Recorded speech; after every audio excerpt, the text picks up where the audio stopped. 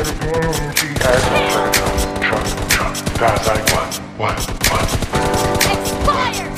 i'm gonna sing it again. She had no sense.